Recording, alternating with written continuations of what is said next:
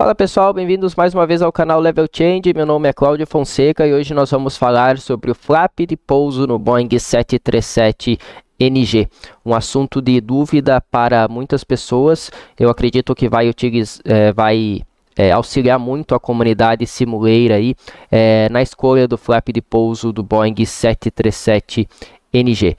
Então eu vou trazer hoje para vocês algumas informações sobre o, a escolha do flap de pouso no Boeing 737NG e também vou deixar um documento, esse documento vocês podem fazer o download através do link na descrição, com algumas tabelas de pouso do 737NG para aqueles que não têm um programa de cálculo de performance. No momento que eu gravo esse vídeo, a PMDG, para quem utiliza o Microsoft Flight Simulator 2020 e o 737 da PMDG para simulação, ainda não lançou é, o tablet com o programa para calcular a performance. Então, nesse caso, você vai precisar utilizar as tabelas que eu vou passar para vocês. Obviamente, na vida real, a maioria das empresas já utilizam esse programa de cálculo de performance, seja no tablet dos pilotos ou seja no próprio EFB, no próprio tablet, digamos assim, das aeronaves. Então, vamos começar o nosso assunto de hoje falando sobre flap de pouso no Boeing 737NG. Eu vou trazer aqui sempre a informação é, em inglês da Boeing é, e depois a tradução para vocês. Então a Boeing diz que para pousos normais a gente utiliza flap 30 ou flap 40. Essa é a primeira informação que a gente tem quando a gente vai para o manual de treinamento e procura lá sobre flap de pouso. A Boeing diz então na sequência que o flap 30 é o flap preferido para pouso se a performance permitir, porque ele provê um melhor abatimento de ruído e também reduz o desgaste e carga nos flaps, tá? Então, segundo a conclusão que a gente tem aqui, se eu for pousar que flap, eu vou pousar com o flap 30, desde que, e é muito importante, desde que a performance permita, tá? Para que vocês entendam essa questão de performance permitir, eu vou trazer aqui é, uma parte dessa tabela que eu disponibilizo no, no documento para que a gente converse um pouco sobre a tabela, para que vocês aprendam a utilizar a tabela e para que vocês entendam o que a Boeing fala sobre se performance permitir. Então nós temos aqui uma tabela para o 737-700 com motor de 22K, padrão da FAA e ainda com freios de metal, não é o freio de carbono, tá? Essa tabela que eu tenho. Notem aqui que a gente tem uma condição de pouso normal para flap 30, tá? Você tem aqui todos os ajustes, eu já vou ensinar vocês a utilizarem os ajustes e nas tabelas que eu trouxe para vocês a gente tem pista seca, dry runway, ou então pista molhada. Para a pista molhada existem diferentes condições de frenagem, tá? É, mas é, para, que, para aqueles que utilizam o simulador, para aqueles que querem é, simular é, não tem acesso aos manuais da Boeing, não são pilotos reais, você vai ter no simulador sempre a condição de pista molhada com uma condição de freagem boa, tá? Por isso que eu trouxe aqui somente o Good Reported Braking Action. Obviamente, na vida real, os pilotos tem outras tabelas abaixo disso que é utilizado em condição de pista molhada, em condição de pista escorregadia, em condição de pista contaminada, mas não é o que você vai ter no simulador, tá? Então, obviamente, o que eu estou trazendo aqui serve para a vida real, mas as tabelas em si, elas estão aqui para ajudar aqueles que estão utilizando essas aeronaves no simulador. Obviamente, quem estiver utilizando na vida real vai utilizar os manuais da sua empresa, vai utilizar os é, programas da sua empresa, é, o que você tiver aí de informação relativa à sua aeronave. Importante dessas tabelas que eu trago para vocês é que ela inclui uma distância no ar de 4 455 metros, ou seja, do ponto do início da pista até o ponto em que a aeronave toca no chão, essas tabelas consideram 455 metros. Obviamente, os pilotos não têm a capacidade de realizar uma aproximação e saber tocar exatamente a 455 metros. Então essa é a distância de referência. Normalmente você vai pousar um pouquinho antes, um pouquinho depois, tá? É, é algo impossível dos pilotos é, definirem. Eu vou pousar a 455 metros. Lembrando que isso dá em torno quase 1.500 pés, tá? É, outra coisa que nós temos aqui é que essas distâncias, todas elas, todos esses valores, eles foram aumentados em 15%. A Boeing aí deu uma colher de chá para nós, aumentou aí a nossa segurança e deu uma margem de 15%, tá? Eu prefiro considerar essa margem de 15% inexistente e que a aeronave vai parar justamente no que a Boeing está definindo aí, mas eu sei que na vida real, se tudo der certo, vai ser um pouquinho menos, vai ser em torno de 15% a menos. Vamos fazer os cálculos então aqui, eu vou trazer essa mesma tabela, mas apenas para a pista é, seca na próxima página, tá? Então nós estamos ainda com flap 30, nós estamos com pista seca, tá? E eu vou fazer todos esses cálculos aqui com Autobreak 3, tá? Por isso que eu parei também aqui a tabela no Autobreak 3. Se você for para a página anterior, para as tabelas que eu vou trazer para vocês, vocês têm as condições de freio manual, freio automático máximo, Autobreak 3, Autobreak 2 e Autobreak 1, tá? Então, nesse caso aqui, a gente vai fazer cálculo para Autobreak 3, é um freio bem normal de ser utilizado no Boeing 737, tá? Eu vou dar como referência aqui Curitiba, vocês já vão entender o motivo de, de Curitiba, para que a gente possa fazer alguns ajustes aqui a essa tabela. Tá? Mas eu digo para vocês que com Autobreak 3 em pista seca, pela, nosso, pela nossa distância de referência, tá? Essa distância de referência é baseada em 60 mil quilos. Nós vamos ter aqui 1.890 metros de distância de pouso. Então, está aqui o 1.890 metros para vocês, tá? Vale lembrar que o 737-700 normalmente tem um peso máximo de pouso de 58.059 quilos, mais ou menos, tá? Então, esses 60 mil quilos já é acima do peso máximo de pouso. E para isso, hoje, nós vamos utilizar, então, um peso para o nosso cálculo de 55 mil quilos. Bom, se o peso que nós estamos pousando é 55 mil quilos e nós estamos com uma tabela que tem 60 mil quilos de referência, nós precisamos fazer alguns ajustes.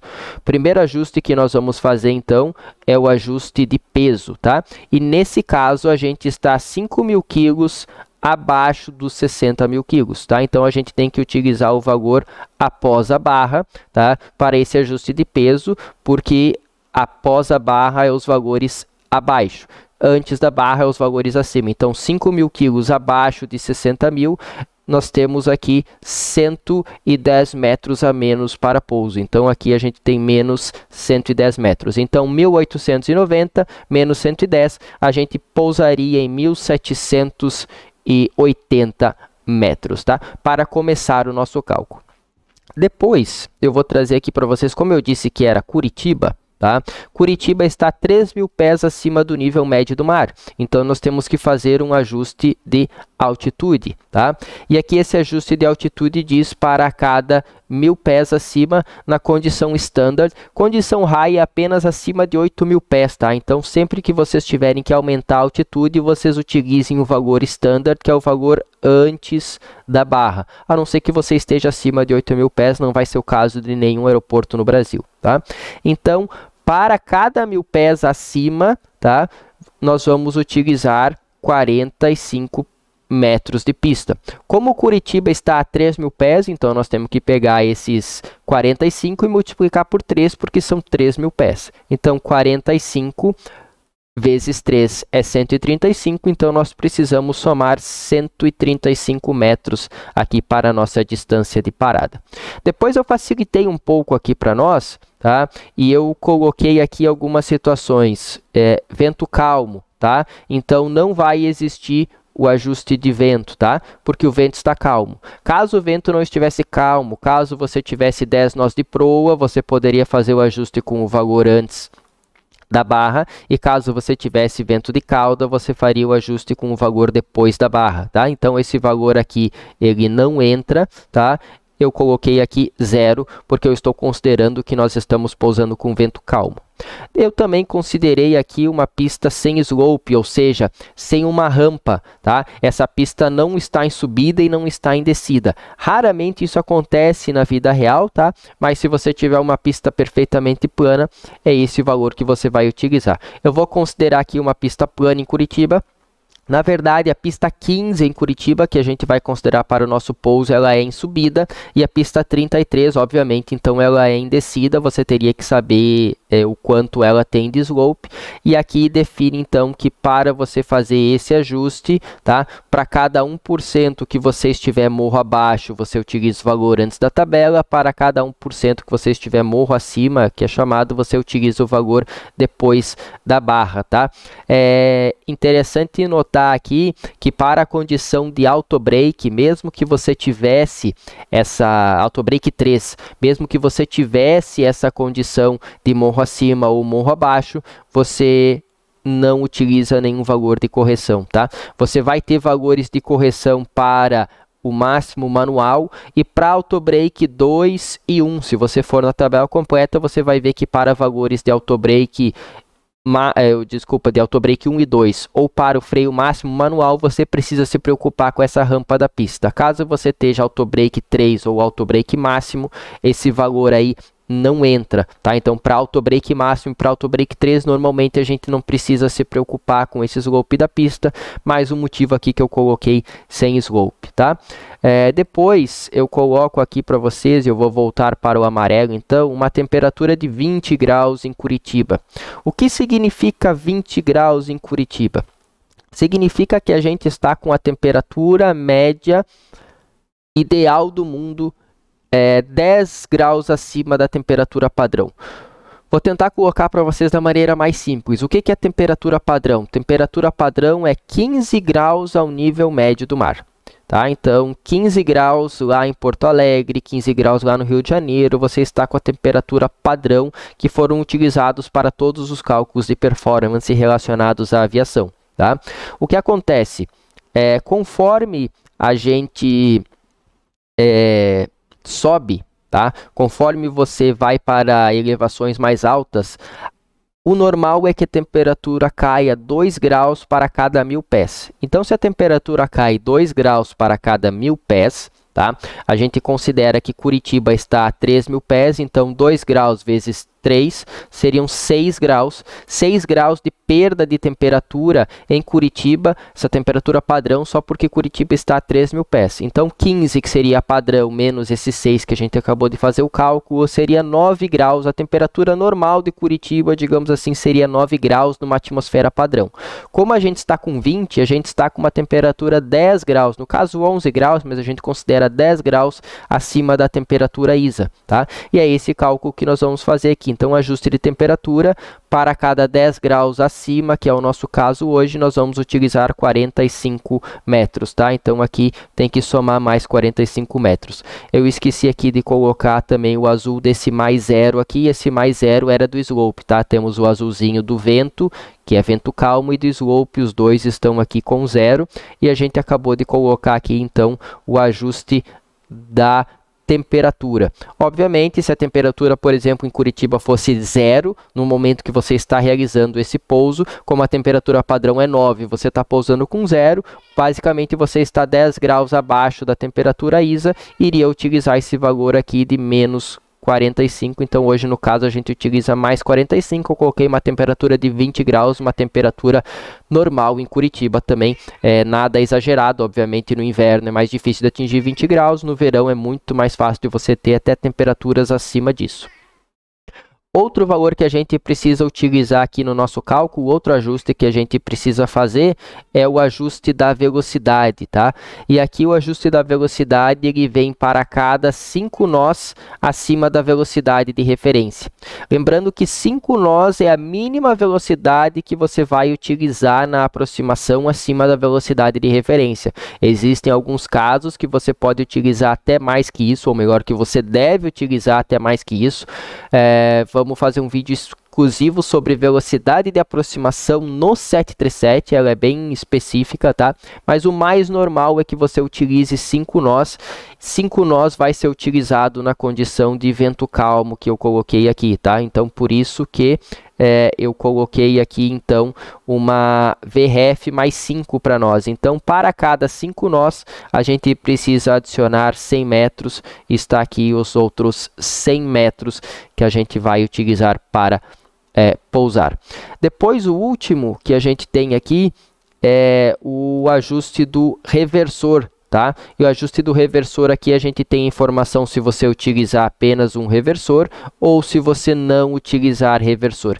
Mais uma vez, para auto brake máximo e para auto brake 3, tá? A diferença se você utilizar ou não o reversor em pista seca é de zero, tá? Então aqui com ou sem reverso não muda nada para nós, zero, tá? Obviamente se você estivesse utilizando o freio máximo manual ou auto brake 1 ou 2 teria sim diferença aí nessas tabelas é, para os valores de reversor, assim como se você tiver na pista molhada, você pode procurar aí, você vai fazer de acordo com o que você tem no momento. Você não precisa pensar se adiciona ou não, você apenas adiciona os valores que estão aqui, nesse caso você adiciona zero, não temos problema nenhum. Fazendo todo esse cálculo, então, eu digo para vocês que nós chegamos a um comprimento, se a gente somar é, 1890 menos 110 mais 135 mais 0 mais 0 mais 45 mais 100 e mais 0, nós temos um comprimento total de 2.060 metros requerido para a nossa parada. Tá?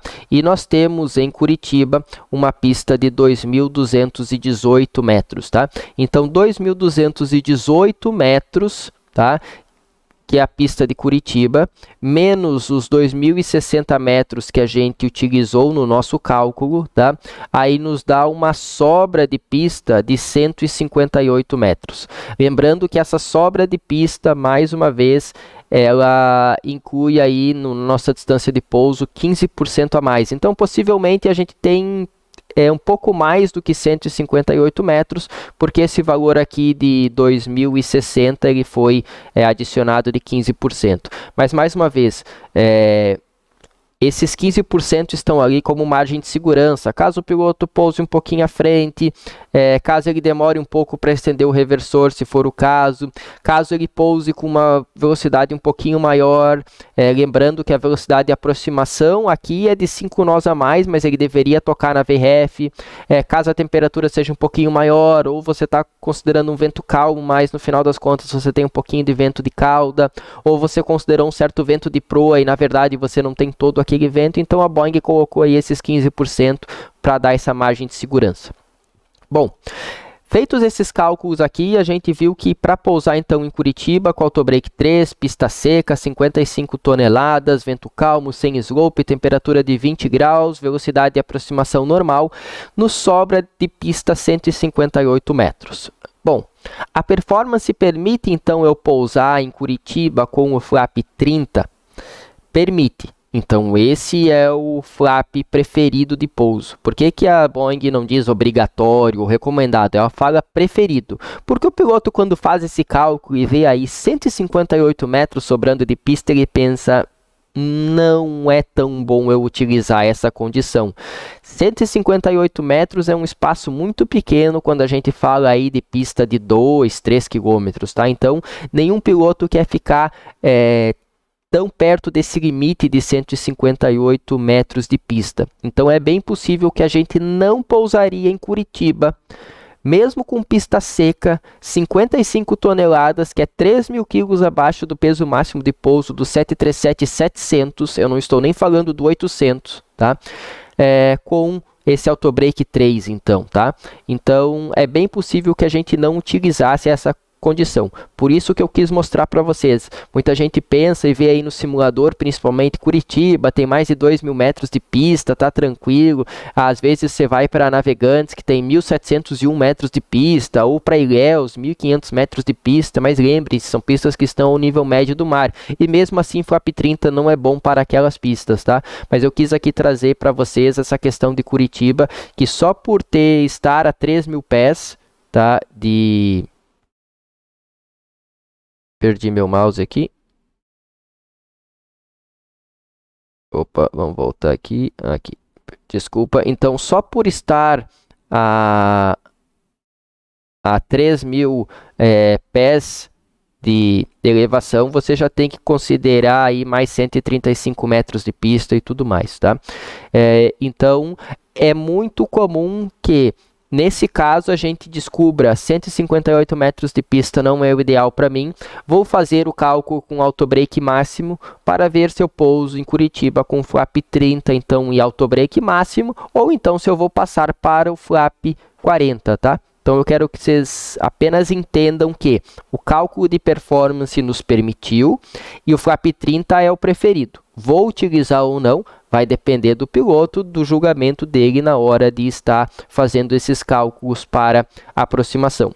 Eu, por exemplo, se eu tenho a opção de não pousar com autobreak em máximo, que é uma parada, eu digo assim, um pouco brusca, não é muito confortável nem para a tripulação, nem para os passageiros, eu prefiro não passar do autobreak 3. Obviamente, se eu precisar, eu vou colocar autobreak máximo, mas eu prefiro não passar do autobreak 3. Então, para mim, é mais normal, ao invés de eu fazer o cálculo com autobreak máximo, que eu vá para o flap 40 e faça o cálculo com autobreak 3 lá no flap 40. Se o flap 40 me dá uma distância de parada legal com o break 3, é esse que eu vou utilizar e baseado nisso a gente segue aqui as informações que a Boeing nos dá.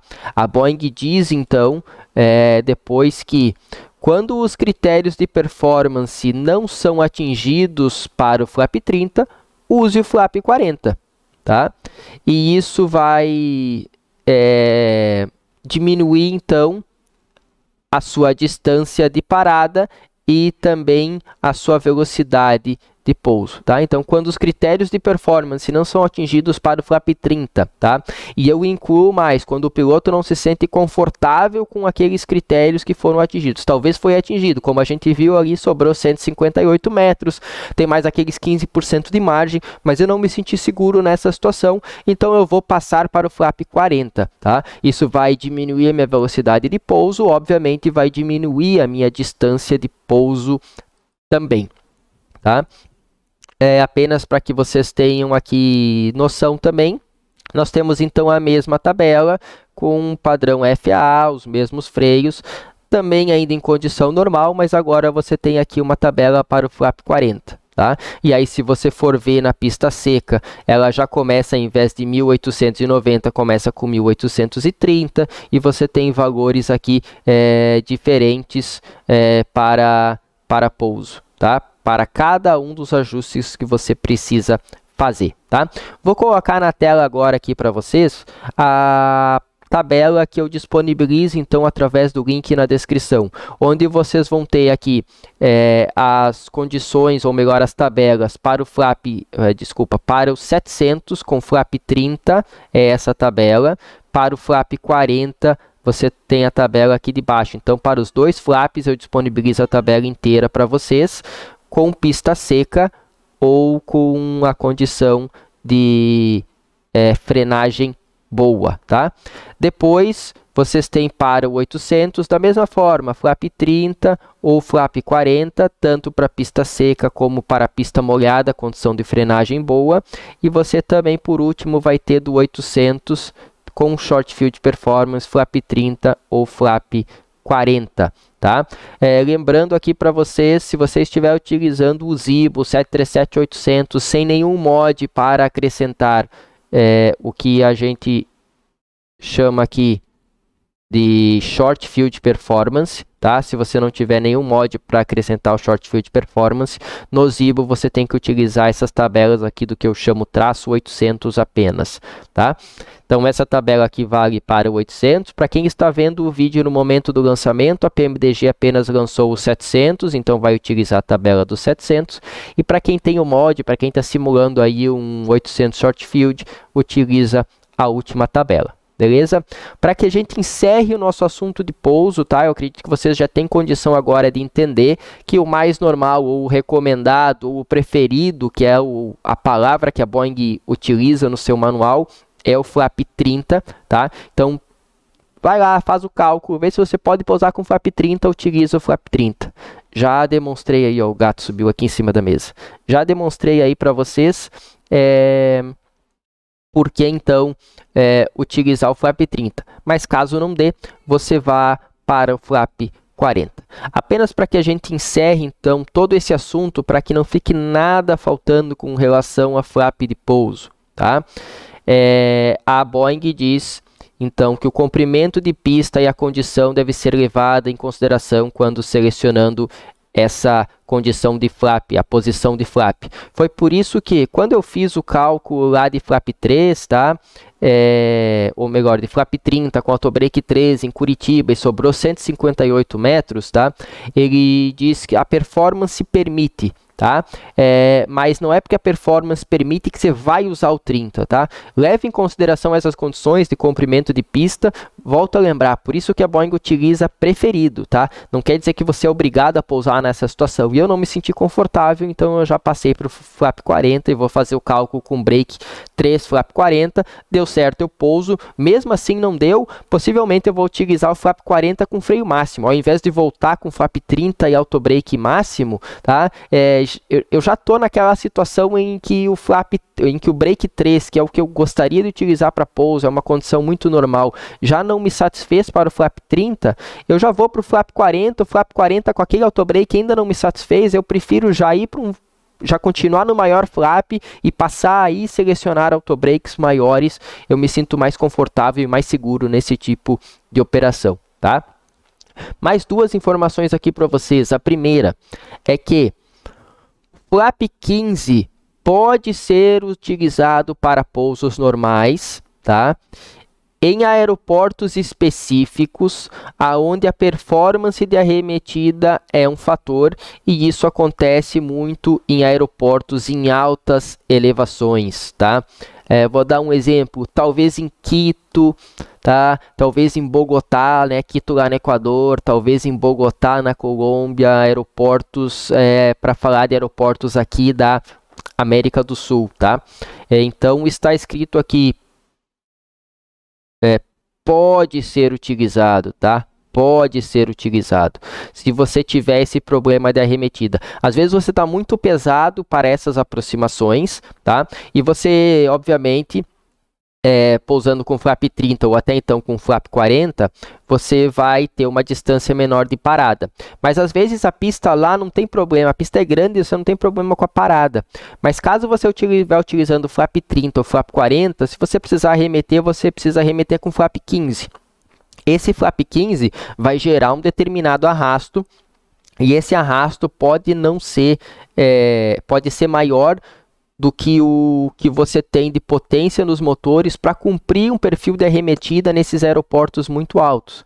Então é possível que se você tem pista suficiente para aquele determinado peso que você aproxime com flap 15 e caso você tenha que arremeter, aí você vai arremeter com flap 1 que tem muito menos arrasto e vai permitir que você cumpra o gradiente de arremetida, tá? Eu nem trouxe para vocês as tabelas do flap 15, tá? Até porque algumas alguns, algumas agências reguladoras não permitem nem que esse flap 15 seja utilizada nem nessas condições, tá? É, normalmente no padrão FAA você pode, tá? Então é por isso que eles dizem aqui, pode ser utilizado.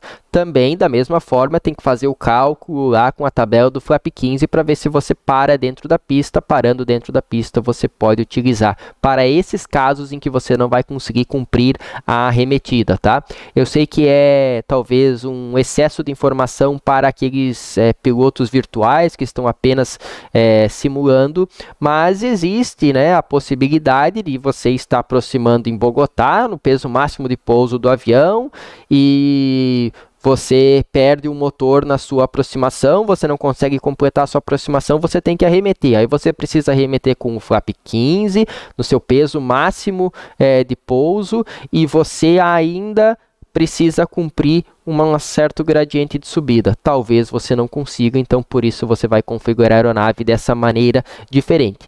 E para finalizar, tá? É, existe uma outra situação que a Boeing diz que o flap 15 também pode ser utilizado em casos onde toda a potência em um motor não estiver disponível para arremetida tá? Mesmo que não fique especificado por um checklist não normal. O que a Boeing quer dizer com isso, tá? Normalmente quando você tem uma falha de motor, tá? Você está numa condição não normal, tá? E você vai pousar com o flap 15 em caso de falhas de motor, tá? É, notem que a gente está falando aqui sobre pousos normais, tá? Então, por isso que pousos normais era flap 30 ou 40. Eu disse para vocês uma situação que o 15 poderia ser utilizado e a Boeing aqui coloca mais uma, tá? Mesmo que você esteja numa condição normal, tá? Mas você não tem toda a potência disponível para a remetida, tá? É, que situações que isso pode acontecer, tá? É, se você, por exemplo, é, está com stall de compressor, tá? Não é o stall da aeronave, é stall lá no motor. Não vou entrar em detalhes o que é stall de compressor, mas existe é, uma situação em que dependendo do estrago que você tenha nesse motor, esse motor está funcionando, ele funciona bem até uma determinada potência. Acima daquela potência ele não funciona mais bem e ele começa a perder tração. Então você não tem toda a potência de arremetida para esses dois motores. Caso seja esse o seu caso na sua aproximação, tá? É, você pode é, considerar a aeronave monomotor, mesmo com os dois motores em funcionamento, porque em caso de arremetida, você sabe que você não pode botar as duas manetes todas à frente, então nesse caso você considera sua aeronave monomotor, você também pode utilizar o flap 15 para pouso, tá? A Boeing diz pode, tá? É, a maioria das empresas dizem, se você não tem toda a potência disponível para arremetida, considere monomotor. A maioria das empresas elas são mais restritivas e elas dizem para que realmente os pilotos operem dessa forma. Eu não tenho o meu motor em perfeito funcionamento, eu já considero que está monomotor, mesmo que eu não precise cortar esse motor, mesmo que eu não precise desligar esse motor durante o meu voo. É uma precaução para caso aconteça uma remetida, caso você não tenha essa potência total ou caso esse motor que não está muito bem venha justamente a falhar na hora que você está precisando, você já está pronto para iniciar é, uma remetida, nesse caso monomotor. A Boeing nunca vai ser específica, nunca vai dizer assim, não, quando você tiver nessa condição, Use dessa forma, como a maioria das empresas definem, porque pode existir condições muito específicas, tá? Em que você precise pousar com o flap 30 ou você precise pousar com o flap 40 devido ao comprimento de pista, tá? E você não tem nenhum obstáculo na sua arremetida, tá? Então, ao invés de você ficar queimando combustível até reduzir é, o seu peso para uma condição em que você possa pousar com o flap 15, talvez seja melhor que você pouse com o flap 30 ou 40, tá? Porque, por exemplo, talvez você se precisar arremeter, você vai arremeter em direção ao mar, você vai arremeter dentro do mar. Vou dar um exemplo. É, você está é, pousando na pista 10 de Salvador, com os mínimos lá de 200 pés, tá? Caso você precise arremeter, Obviamente você vai tentar subir o máximo que você puder, mas a 200 pés em Salvador nos mínimos. Se você não tiver potência para subir muito, se você mantiver 200 pés, passa em cima da pista. Esses 200 pés são necessários para você livrar os obstáculos lá do outro lado também. E logo à frente você entra no mar, que está obviamente no nível médio do mar. Então, você não vai bater em obstáculo nenhum caso você não consiga é, subir muito nessa sua arremetida. Então, assim, para Boeing não dizer, não colocar preto no branco, sempre coloque a Boeing diz, ó, pode ser que você precise utilizar nesse caso e a maioria das empresas pedem que você utilize. Apenas lembrando esse caso assim, é muito hipotético, muitas coisas precisam acontecer para que você não tenha toda a potência desse motor para que você precise considerar esse flap 15, para que você vá arremeter e você esteja realmente num peso em que a pista que você tem não é suficiente, tá? Mas pode ser o seu dia de azar, pode ser que você esteja em todas essas situações, você está pesado, você não tem toda a sua potência para arremetida, a pista que você vai pousar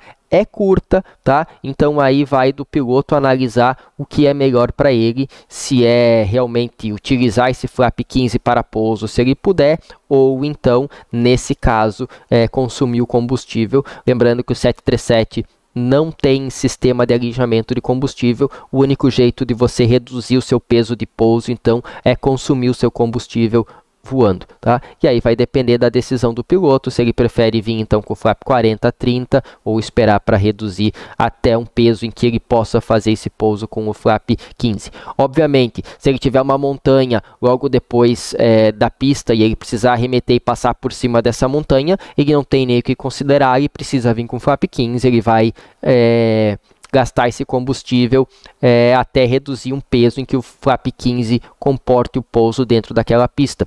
O que é importante entender também é que às vezes o tempo que você vai demorar para consumir esse combustível para pousar naquela pista específica com flap 15, talvez leve você a um outro aeroporto onde você possa pousar é, com o flap 15 imediatamente, tá? Então vou dar um exemplo. Você está, não estou dizendo que esse, esse exemplo é, batem os números, apenas para que vocês tenham uma ideia. Digamos que vocês estão numa situação em que vocês decolaram de navegantes, vão precisar voltar, vão precisar pousar com o flap 15 e com o flap 15 vocês precisam 1.800 metros de pista. Navegantes têm 1.700.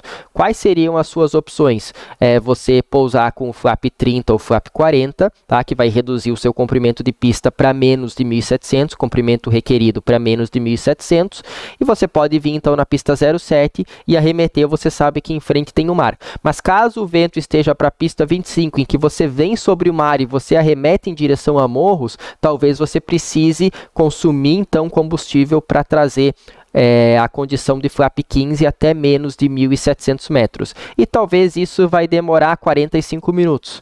Por que, que eu vou ficar 45 minutos nessa situação se eu posso ir para Florianópolis, que está a 15 minutos de voo, ou seja, eu economizei o meu tempo em 30 minutos e vou pousar lá em Florianópolis com o flap 15 que tem 2.300 metros de pista, por exemplo, e eu precisava apenas de 1.800, ainda está me sobrando 500 metros, tá? Então o piloto tem que levar essas situações em consideração, tá? É, eu, trouxe, eu trouxe essa questão do flap 15 numa condição não normal, que não é especificamente é, o, o, intuito do vídeo, tá? Nós estamos falando em pouso normal, apenas para dizer que existem condições muito específicas em que mesmo que você não tenha que realizar um checklist não normal ou que aquele checklist não normal não especifique um pouso com flap 15, que você pode utilizá-lo.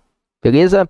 Galera, espero que vocês tenham gostado, tá? É, deixe seu like, se inscrevam no canal, compartilhe com seus amigos e eu espero ver mais simuleiros pousando o Boeing 737NG com flap 30. Beleza?